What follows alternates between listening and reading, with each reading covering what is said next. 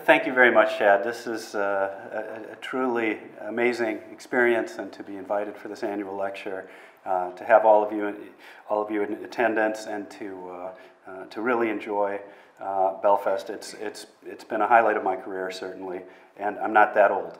Um, so I, am going to start out with just a little bit of organization, and, and really, um, uh, again, express express my heartfelt appreciation.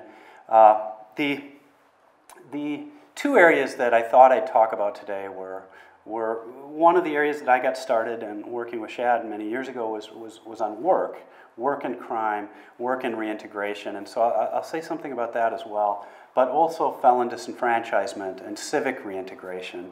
Um, and I, I, think there, there will be a, a, good bit of, of US material here, but I really don't think at all that these, these issues, um, certainly not from, from what I've been discussing here, are, are limited to, to that, that context.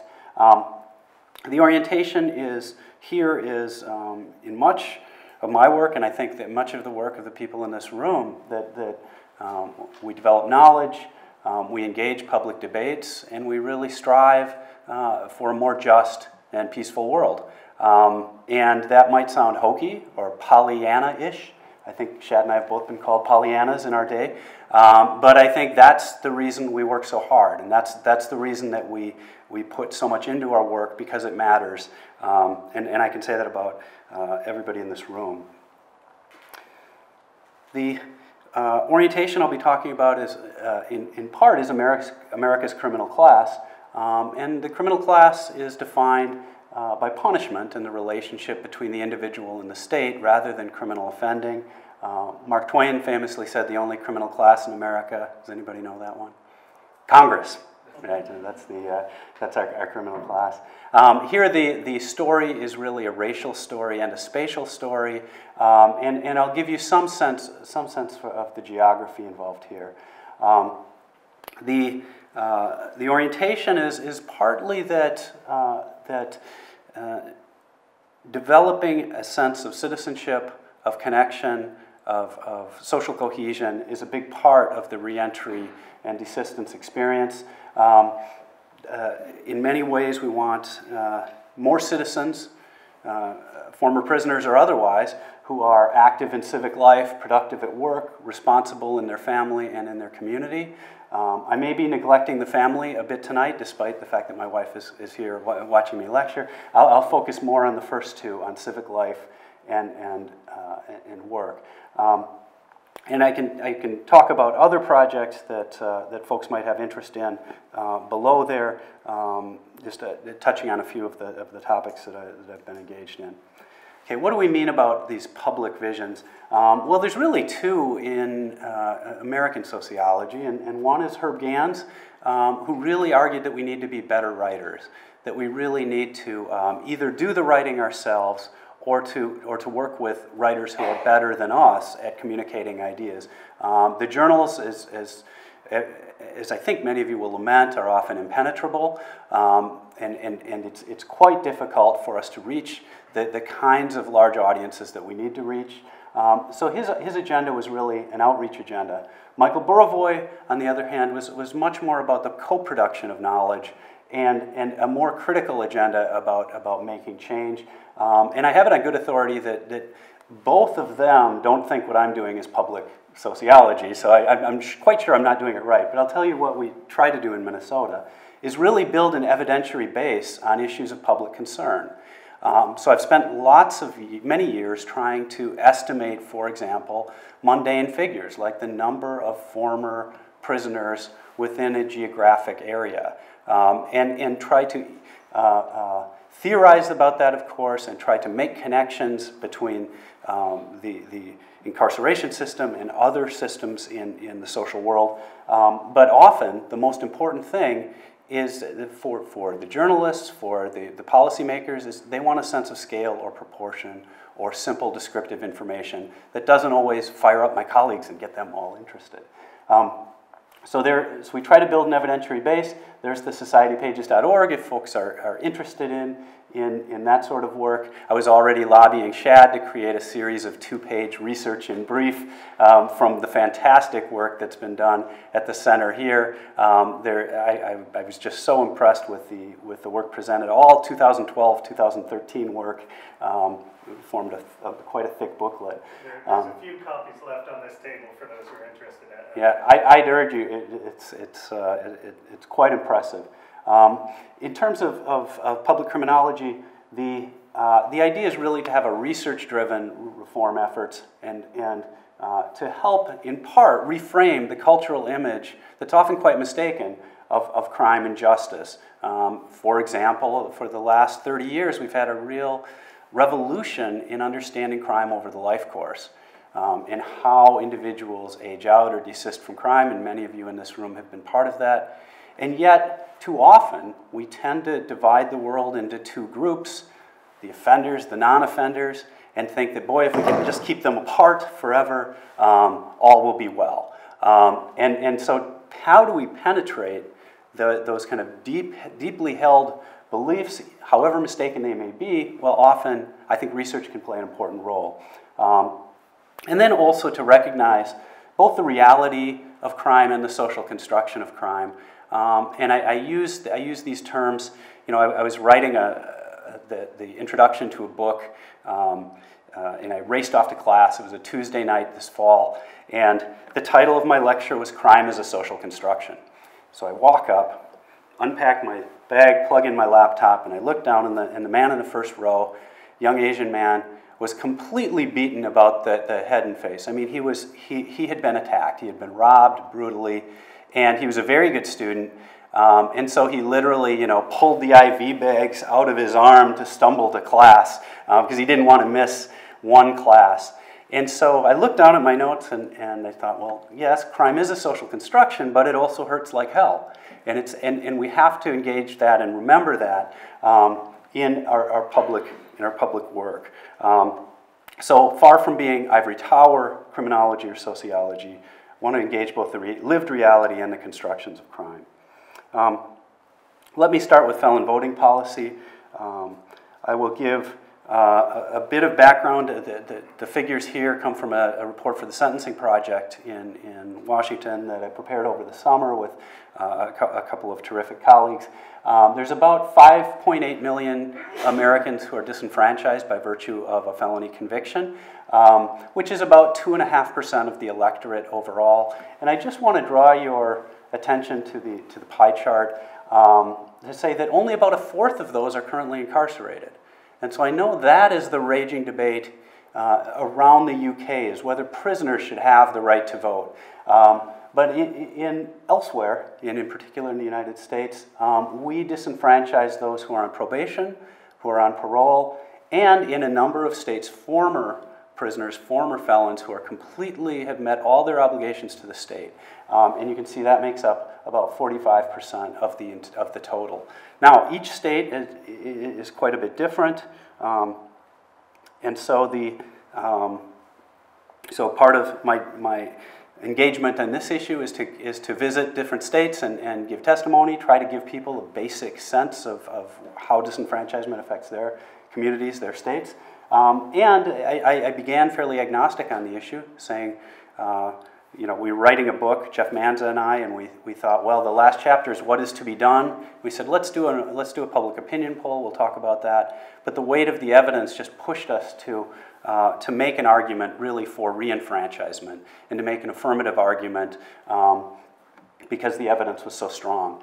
Um, I think, I'll, I'll, let you be the judge. But on, on the basis that reenfranchisement extends democracy, and I would apply this to prisoners as well in, in the current debate um, reduces racial disparities in access to the ballot, enhances uh, public safety, and we can certainly say that it does not compromise public safety, responds to public sentiment, accords with international standards and practices, and serves the reintegrative goals of community corrections. So I'll, I'll try to make a, a, very brief case along those lines. Um, with regard to extending democracy, the story is pretty simple. Um, in the, before the incarceration boom, there was about a million Americans disenfranchised, quite, quite a, a fair number even then. Um, but since the 1970s, it's, it's uh, risen, risen quite dramatically. Even though the laws have gradually been pared back, the laws have gradually been liberalized in parts with the civil rights movement in the 1960s, 1970s. With regard to reducing rate, reducing disparities, I just want to show I, I, I, won't bore you with uh, all of these all of these state maps, but, but simply to, to show you the regionalization here that I, I was talking with uh, uh, uh a, a, terrific uh, student in sociology today about the United States incarceration rate, and I said there really isn't one. There, there are many, and, and they're all over the uh, they're all over the map. Um, my home state of Minnesota is that in the center of the country we have a relatively um, low incarceration rate, but a high rate of correctional supervision. Um, many people on probation, often for long sentences in Minnesota. Um, if you add up everybody, this is, this is the percent of the electorate who's disenfranchised by virtue of a felony conviction overall in the states. And you can see there's some in the south and east, states like Florida, um, and others are quite a bit higher than, than elsewhere. If you look at African American disenfranchisement, the picture is, is, is far darker. I've kept it on the same scale. You'd see that the, the, there are many states with over 20% of the African American population who cannot vote due to a felony conviction. Um, we uh, have, have, played with some uh, ways to try to dramatize this. I know that ma many of us, our eyes glaze over when we see numbers.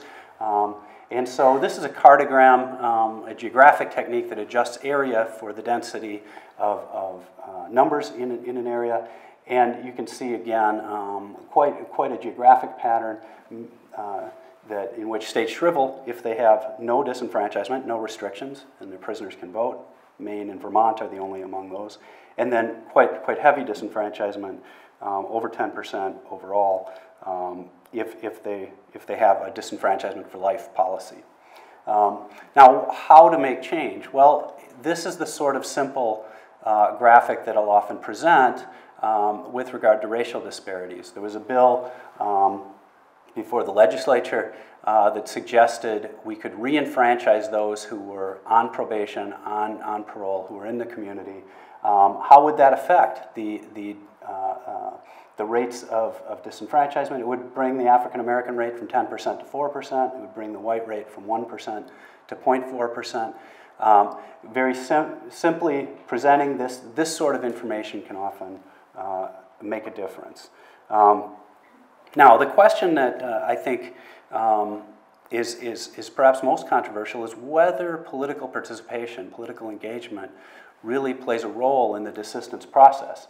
Um, and there's, there's good theory um, to suggest that it might, um, but it's a very difficult cl claim to make, and it's very difficult to compile the sort of evidence that needed, needed to, uh, uh, to, to make, that, make that inference. Um, the practicing citizenship might help build um, political efficacy, civic efficacy, um, and reinforce one's identity as a citizen in good standing, um, standing shoulder to shoulder with your fellow citizens.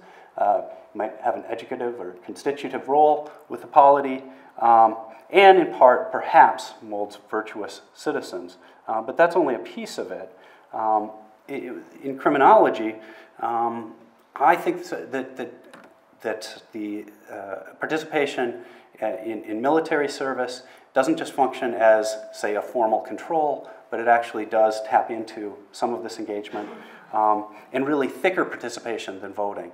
Um, that is, uh, getting involved as, as political leaders, um, what McEvoy and, and had des described as small p political leadership in, in um, one, of, one of their articles on, on reintegration uh, in Northern Ireland. Um, that, that indeed, I think we, we, we know from our, uh, our experiences uh, and, and watching people come through the system that it, it can play a role. Um, as well, I won't get into identity theory in, in Shadd's work or, or Peggy Giordano. Um, I, I, come from a symbolic interactionist orientation, so I, I tend to think of things as, uh, think of this as uh, getting our reflected appraisals of self and taking on adult roles um, in communities. And we uh, often wear buttons to symbolize that we voted um, on election day, um, in part because of that civic pride. Um, one of my graduate students rather cheekily uh, suggested we could sell those buttons um, in part um, so people could avoid all the trouble going, going to the polls. Um, I thought, well, that's uh, that, that, quite, a, quite an innovative idea, but probably best not to do. Um, so, in the what, what is the what does the, the evidence look like? In, in uh, the general population, we found we we tried to track people leaving prison in Minnesota, and then we matched the um, the the records, the official voting records, and the official Department of Corrections records, and we find that indeed former prisoners were turning out to vote, about one in five in most elections, and that they indeed had a lower recidivism rate. But what was really interesting was the time varying nature of this effect. That is, that um, once people were start beginning to vote, they, they were far less likely to reoffend. Um, and we don't necessarily think that the, the action of, of, of, of uh, coloring in a form or, or pulling, a, pulling a lever is going to uh, magically transform individuals. Um, but it has a, a, an effect that, that we can measure that's uh, on par with that of, of something like marriage. It's, it's very strong. Um, and, and the, and, and I think part of the reason for that is that it's been, it's been neglected in large part in criminological theory, in criminological research. That voting is tapping into something, uh, some desire to be a part of a broader collectivity that is omitted from a standard recidivism model. And so I think that's the, the uh, uh, uh, what I, all I can say when I testify on, on these issues is that, um, that opening up the doors to voting will not do demonstrable harm to public safety. But, but all of the evidence is suggesting um, that, that it makes a, uh, that it can make a positive difference. And um, in states in which uh, former, uh, in states in which people can vote while they're on parole or probation, the voters are far more likely to successfully complete um, their, their term. Um, so what about responding to public sentiment? Um, we did a national public opinion poll, um, and, and we found I, would be fascinated to know what the situation would be in, in Northern Ireland. Um, we asked about whether we split the sample, split uh, a thousand people four ways so that the answers wouldn't contaminate one another, and we asked who should be able to vote. Um, and we expect America is a very punitive nation. We expected people to be quite hostile to the idea of, of former prisoners voting, um, but 80% uh, favored allowing people who were off paper to vote, um, and, and good majorities, over 60% uh, uh, people favored uh, those who are on probation in lieu of a prison sentence or um, on parole following one. Um, at the prison gate, though, the, the support really the support really stopped, um, or at least went down to about a third. Um, the the uh, we also did some experiments in which we tried to vary the stigma. And we said, well, to what degree are people connecting, particularly stigmatized groups? Like we asked about sex offenders. Should a sex offender be able to vote um, after serving their time? Um, we still found a majority favored, even in, as I say, in a very punitive nation, at a very punitive moment, um, that, that, the, the, political participation is deeply prized. Um, now, obviously, uh, uh, there are uh, the, the, United States is quite unusual in disenfranchising um, so many and having such strict laws and then having such a large uh, correctional uh, uh, operation that um, the debate elsewhere is quite a bit around um, whether prisoners should be uh, permitted to vote or not. We did a, a little bit of analysis with this um, and, and, found indeed, kind of unsurprisingly, states with, with uh, uh, high democratization um, and, and high GDP um, were more likely to re-enfranchise their prisoners. Um, states with high incarceration were more likely to disenfranchise. It's a very crude kind of analysis. Um, I wish I had some of the law students who I met with this morning who could tackle some of these uh, international, some of these constitutions around the world because, frankly, I was a little in, over my head in terms of, of, of trying to understand um, each of the provisions.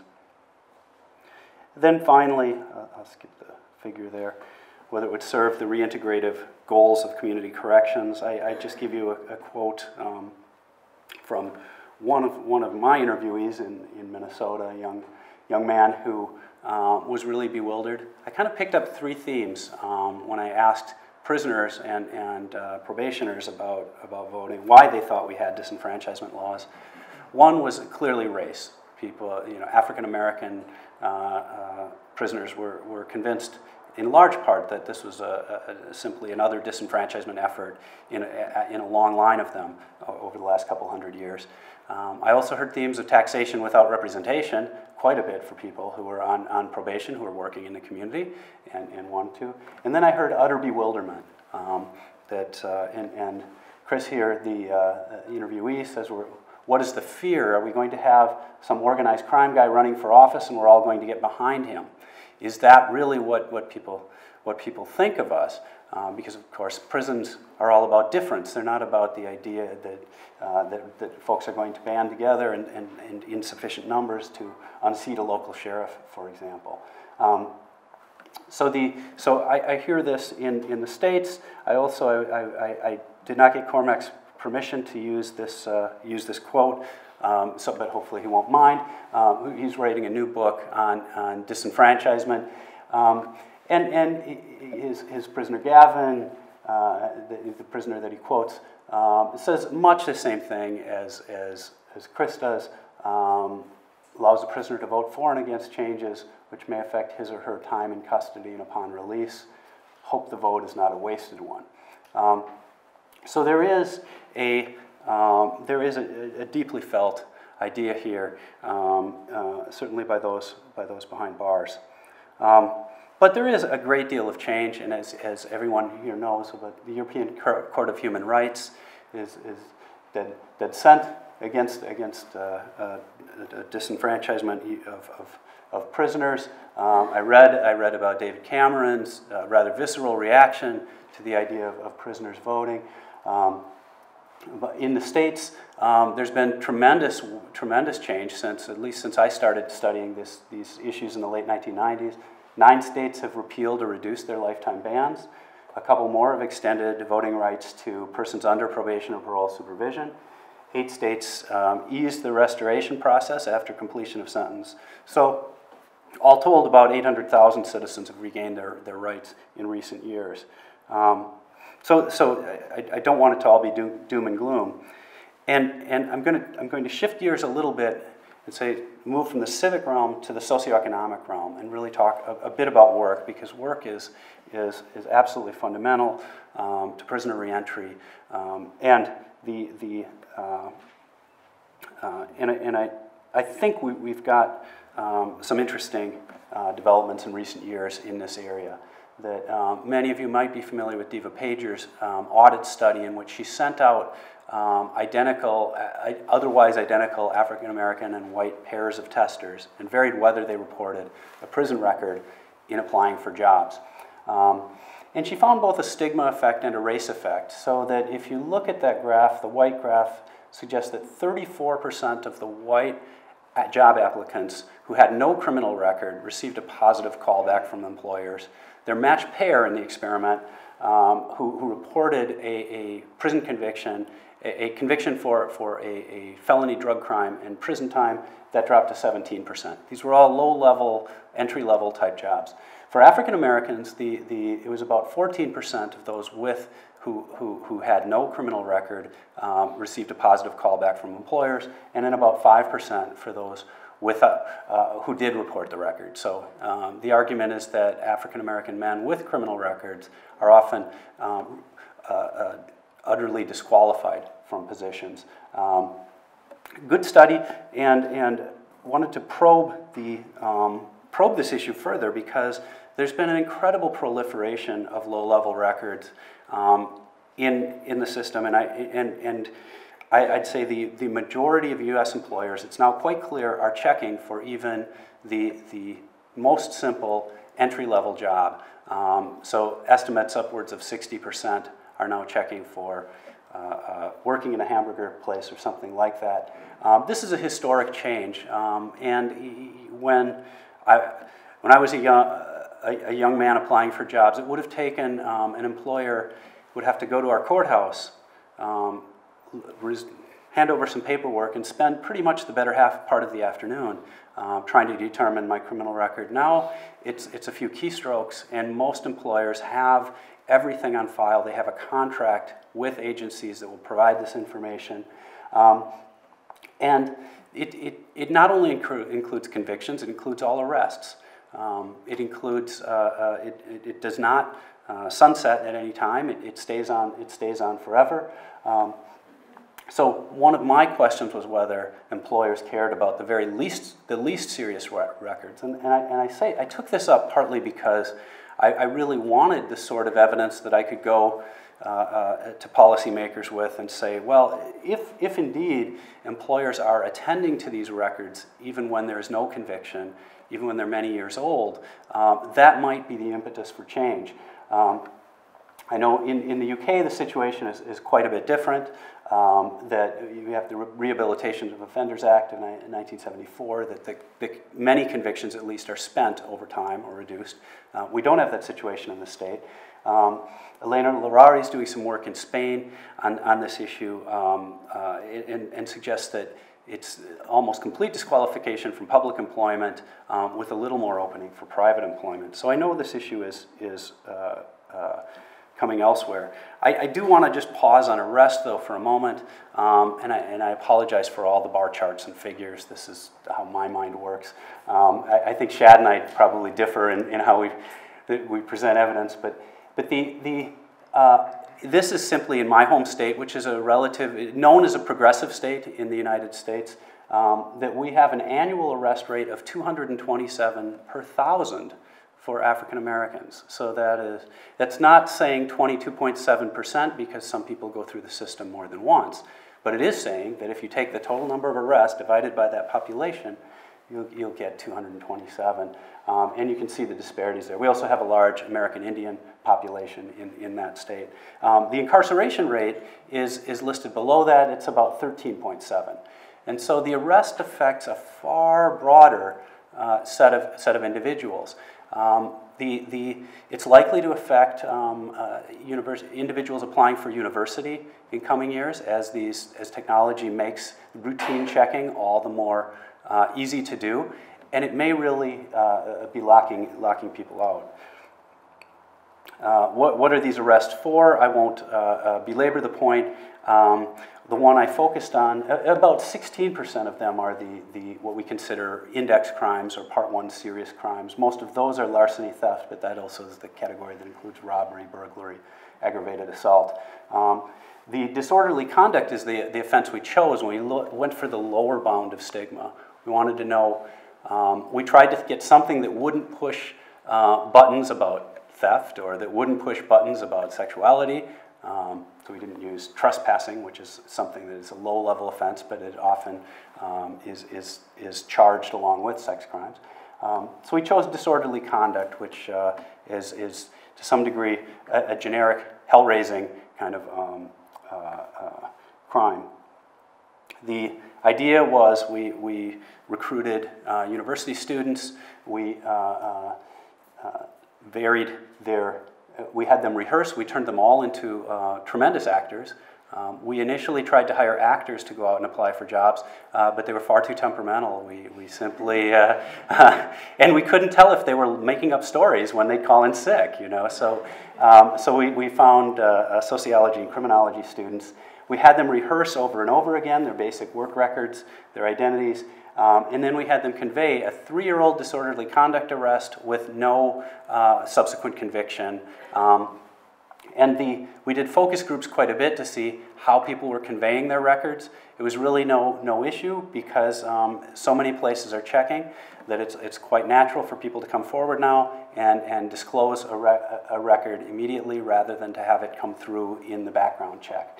Um, we rotated the testers each week to simply so that we wouldn't pick up any tester effects so that you might be the, the person with the arrest record one week and the person without the next. Um, well, what did we see? We found far smaller effects of stigma when we reduced the, the arrest. We, our, our, our white uh, uh, testers, it was about 30, 39% got a callback, a positive callback, versus 35% of those who reported an arrest record. Um, among our African Americans, it was about 20, 28% and 24%, so a similar kind of gap. Uh, but it did tell us that employers are becoming more sophisticated in calibrating the degree, uh, uh, the degree of stigma and the degree of harm. Um, we did uh, quite a few employer interviews as well. We, we followed up with these employers after we audited them. Um, we found that uh, two-thirds of our employers had contracts with private data mining companies that make it very easy to just run everybody through the background check. Um, and 25% of them told us that any sort of record would disqualify an individual from, um, uh, uh, from, from consideration. Now, this surprised us because uh, social scientists, we often think of social desirability biases around discrimination, particularly.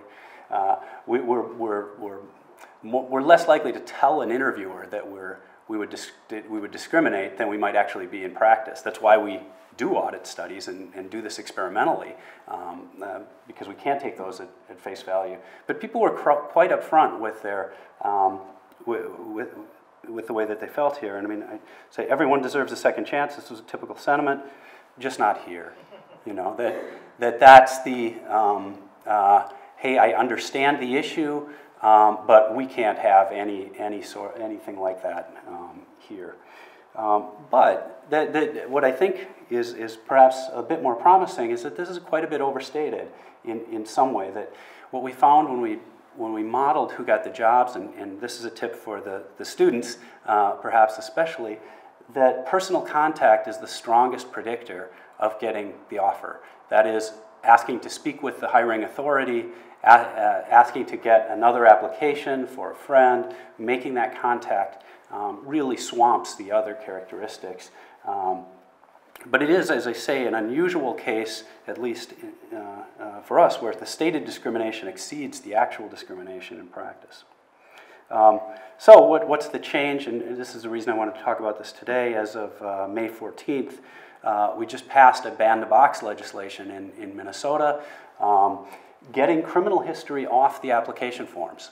Um, so took this research and said, um, we think people are being screened out, and if they only had the opportunity to make contact, they might have brighter, brighter prospects. Um, now, this doesn't mean, though, that the employers cannot check the record. What it means is that they cannot ask for the record on the form, and that they have to wait until an interview or finalist stage to bring up criminal history. That is, so, so that you get past the initial screen where the, the application just goes into the dustbin. Um, it's currently been the law for public employers in, in the state of Minnesota. It'll be extended to private employers in, in January. Um, we, uh, we don't know, you know, I, part, of, part of the effort that, that, that motivates me is I said, well, is, is 4%, that 4% gap meaningful? And then I thought about my own job search in academia, that I would have done anything to get a 4% uh, extra, extra boost. Or, um, and as well, that if you, if you um, divide that 4% by the base rate of 28%, it's really more like 14% uh, uh, penalty. Um, so this is an effort to get people screened out, at least give them the opportunity to make contact. Now, is it going to offer a real opportunity or is it going to just shift the discrimination down the road? We don't know the answer to that yet. That's, I, hope, I hope I'll be invited back. I'd be, I'd be delighted to, uh, to share that, uh, that information with you. So there, there, are many challenges here, in particularly balancing the legitimate rights of social groups and private citizens. Um, but hopefully the, the, we can have a research-based policy conversation about this. And then to recognize that you know, the, the laws um, that, that we engage here are not just the furniture in the room, but they're, they're dynamic, they change, and, and we have some agency in, in, in helping that happen. And I, I, have had so many people, when I talk about the technology of criminal record checking, say, well, the genie's out of the bottle on that one, and, and you'll, never, you'll never be able to regulate stigma. But, but I disagree. I think we do quite a good job of it in many, in many spheres, in particular with regard to our healthcare records, that, that we have been able to maintain some privacy uh, around those. And I think we could do the same if there is the will to do it with, with criminal records. Um, so at minimum, I mean, the, the idea here is that, uh, uh, that we can reduce, uh, we can curb some of the excess stigma, get the arrest records off of those, those um, public public documents, uh, uh, get the misdemeanors off, and, and really have some, some time limited, um, uh, time, time limited rather than lifetime bans. Um, and I'll say, you know, curbing excess stigma also has many, many other positive effects. Um, I can show just one graphic um, uh, in, in, in, as part of uh, U.S. Uh, welfare reform. Um, one punitive measure that was taken was to ban public assistance for anyone convicted of not all felonies, but, but drug felonies. There was a great concern with drugs, and so it, it, it made the, uh, so we imposed a ban. You could no longer get food stamps or um, uh, uh, public assistance for uh, uh, if you'd been convicted of a drug felony. Well, states had, uh, states varied in their implementation of this. And the states that opted out tended to have relatively flat crime rates among, uh, arrest rates among women. Um, the states that imposed the ban, we saw an immediate spike um, that persisted. And, and, the, the, and so stigma here is, is um, uh, as I say, something not, not to be taken lightly or to think that we can somehow partition the justice system from the other institutions of society. Um, and uh, so I, I, won't, I won't dwell on this research. I'll save it again for another time. Um, the, so, so the idea here um, they've tried to at least, at least raise is that um, there's so much work to be done in building this sort of evidentiary base and, the, and, the, uh, and, and doing the translational work that's going to get the numbers out into the community.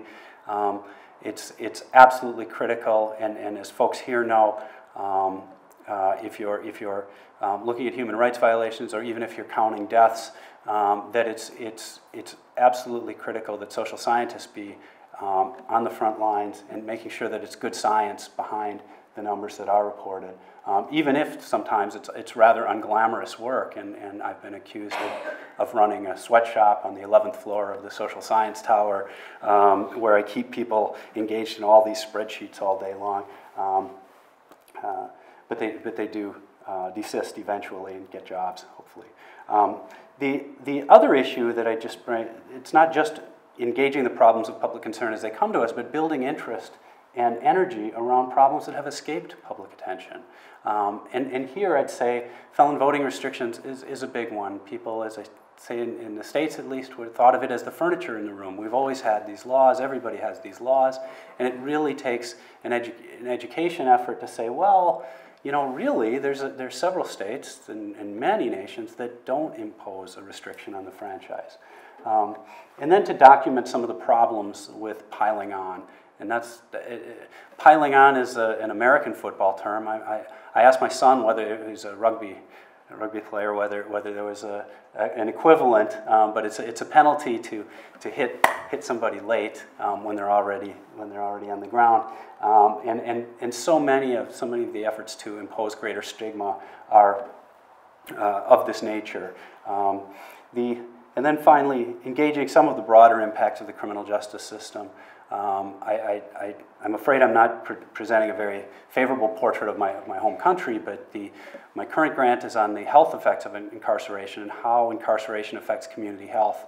And we, we were struck by, um, uh, sadly, that, uh, that, that the health care that's provided in prison is far, far superior to the health care that's provided on the outside for those who are, who are going to prison. And so we actually found positive effects of, of incarceration on community health, um, at least for those diseases that are tested and treated in prisons, like tuberculosis, like some of the STDs. Um, for things that aren't tested and treated in prisons, having a prison in the area had, had, had dramatically negative effects. So I, I, I want to close with just a few um, uh, uh, other examples on, on uh, of how sometimes the, the policy change works um, with uh, uh, some humility here because most of them I had very little to do with. But, um, but my favorite comes from the state of Iowa. It's a farm state near, near my, my uh, hometown of St. Paul, Minnesota. That uh, I got a call one day from the governor's um, attorney. And the governor's attorney said, Call off those kids.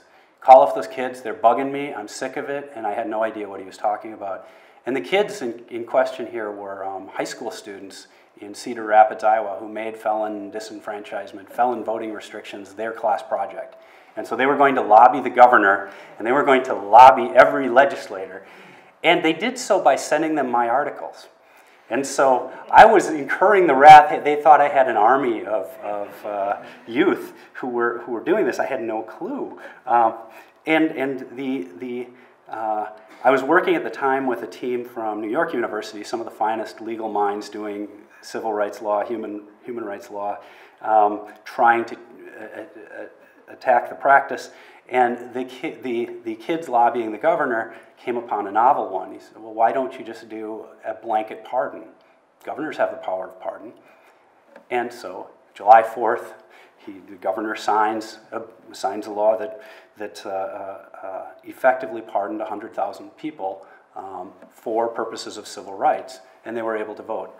None of the, uh, at least none of the, the attorneys who I, I was working with had anything like that.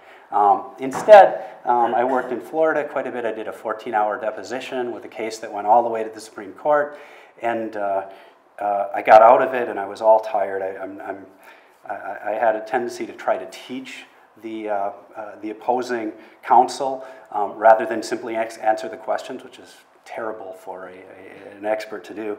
Um, so it was grueling. And, and we walked out, and, and, and when um, the, the Supreme Court refused to hear the case, um, I got a call from the, I, I, called the attorney. I, said, I was so disappointed. I said, all that work, all that preparation. Said, oh, we knew we were going to lose. Like, we, we, we, you didn't think we were going to win, did you? Did you really think? I mean, the law is clear. And I said, well, why did we do all this? He says, well, it's body blows. It's really working the body as a boxer might, and, and eventually um, things will happen.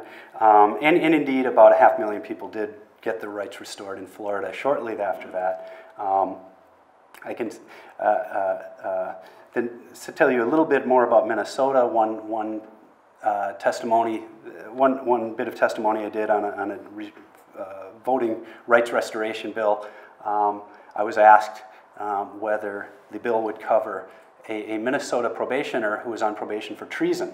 I don't know if you've heard that one, but I, I, I had no idea. I said, I, I, don't think we've, we've had a lot of treason cases in Minnesota, and I don't think they'd be given probation. Um, and it turns out the last one was a University of Minnesota professor in World War I. Um, but I wrote about it, I blogged about it, maybe this is some of the public outreach efforts. And Al Franken, the now senator, at the time he had a national radio show, and he just had so much fun with the idea that, uh, uh, that, that they were asking me about treason, and, and, and we had, had several, days of, several days of shows on this. Um, then I can say a bit more just about Tennessee. Um, sometimes when these laws, the importance of, of really bringing the, the, the suggested reform to the people most affected by it. Um, I was asked to attend a, uh, a law school presentation, or, or, give a law school presentation in Memphis, um, Tennessee, after a, um, uh, the law had been uh, proposed to ease the rights restoration process for people, and these were people who'd completed their sentences. And so I said I would, I would go, I would only have a few, uh, a few uh, uh, I didn't expect a large audience, um, but instead there were like 300 um, former felons who, who had showed up. And, and, they were very angry because at the last minute, um, one of the politicians had attached a, a provision to the bill that said you had to be current on your child support, you had to have paid off all your obligations um, to, uh, before you could be considered to have your rights restored and that the child support obligation continues to accrue during the time in which you are incarcerated. So many of them had tens of thousands of dollars over their head, um, and they, and they um, certainly viewed uh, uh, me as being uh, uh, some part of that in, in crafting this law. Um, but it, but I, I, can see the, the uh, uh, clearly people are resisting some of these rules, and, and um, the need for dialogue is important in Northern Ireland as, as well as, as the United States. Um, so I will uh, leave it at there, there for the moment, and I've got a million more stories, but I, I really want to hear and have a dialogue with you. Thank you.